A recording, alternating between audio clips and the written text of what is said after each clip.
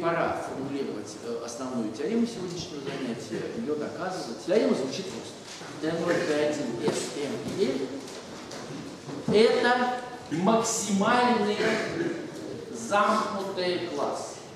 То есть, если вы добавляете хотя бы одну функцию к T0, которая не принадлежит к T0, то при помощи композиции можно получить все, что угодно. Если к T1 добавляете, можно, не, которая единичку не переводит единичку, то можно получить все, что угодно. То есть, что? Т0 можно назвать группой? Группой ни в коем случае.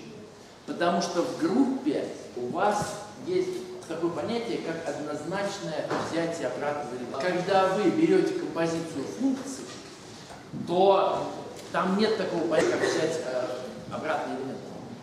Группа это гораздо более жесткая структура, чем вот, э, вот эти вот штуки с композициями функций. Нет, совсем не группа. Это максимальные, не совпадающие с множеством всех функций, замкнутые. И вторая, совершенно замечательная. Если у вас есть набор функций, который, послушайте,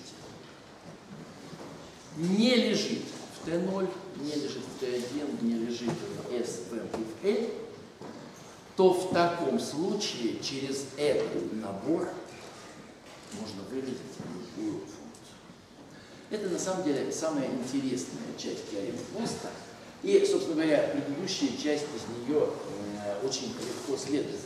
Поэтому давайте я, э, собственно, и буду доказывать. А э, то, что вот это максимальные классы, это вы, что называется, как-нибудь сами подумайте, это очень легко, если вы поймете доказательства э, э, того, что я сейчас расскажу. Если множество f, состоящее из нескольких функций,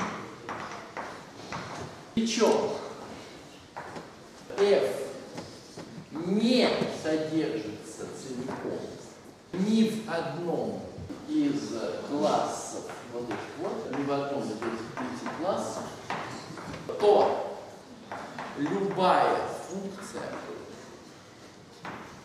может быть выражена через То есть может быть при помощи большого количества операций, но в принципе, так же как мы здесь научились через стрелку Пирса, или там научились через штрих Шеффера все делать, также через этот набор функций f все что угодно нам удастся получить. Это не очень сложная тема.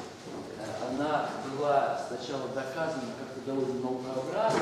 Было несколько лет, когда считалось, что вот это вот такая высокая наука. Действительно, это немножко высокая наука, если одновременно думать о функциях не когда 0,1, а когда, скажем, 0,1,2. То есть так называемая К-значная логика.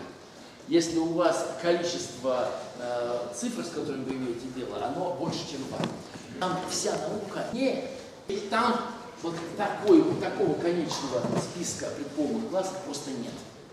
Если ограничиваться вот тем, о чем я сегодня говорю, то теорема действительно крайне простая. И мы ее сейчас с вами докажем.